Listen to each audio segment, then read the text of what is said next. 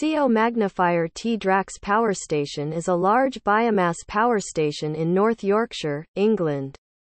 Capable of co-firing petcoke. It has a 2.6 gigawatts capacity for biomass and 1.29 gigawatts capacity for coal. Its name comes from the nearby village of Drax. It is situated on the River Ouse between Selby and Goole. Its generating capacity of 3,906 megawatts, MW, is the highest of any power station in the United Kingdom, providing about 6% of the United Kingdom's electricity supply. 4. Opened in 1974 and extended in the 1980s. 2. The station was initially operated by the Central Electricity Generating Board. Since privatization in 1990 ownership has changed several times, and it is operated by the Drax Group.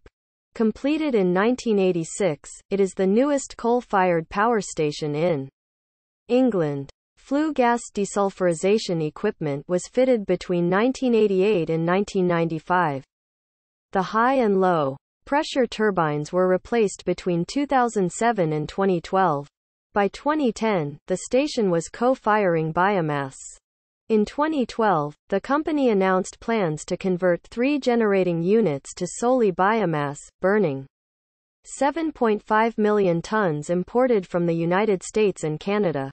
5. This work was completed in 2016, 6, and a further fourth unit was converted in 2018.